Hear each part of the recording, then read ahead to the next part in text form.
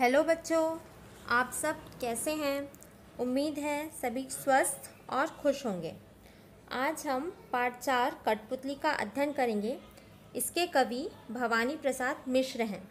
इस, इनकी हिंदी साहित्य एवं कविताओं में अच्छी पकड़ थी। इन्होंने कठपुतली की मनःस्थिति और उसकी संवेदनशीलता का बड़ा ही मार्मिक चित्रण किया है।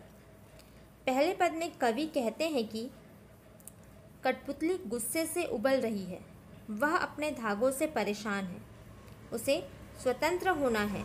उसे इन धागों का बंधन बिल्कुल भी रास नहीं आ रहा है। वह परेशान हो गई है। वह कहती है कि उसे इन धागों से मुक्त कर दिया जाए और उसे उसके पैरों पर खड़े होने के लिए छोड़ दिया जाए। दूसरे पद में कवि कहते हैं कि पहली कठपुतली की बात सुनकर दूसरी और भी कठपुतलियाँ उसकी बात का समर्थन करने लगी। उन्हें भी स्वतंत्र होना था। वे भी अपने मन से जीना चाहती थीं। वे कहती हैं कि बहुत दिन हुए, उन्हें अपने तरीके से जिए हुए, खुली हवा में सांस लिए हुए, आज़ादी के साथ रहे हुए और अपने पैरों पर खड़े हुए। तीसरे पद में कवि ने पहली कठपुतली की मनस्थिति का बहुत ही अच्छा चित्रण किया है। वे कहते हैं कि पहली कठपुतली क्या सोच रही है?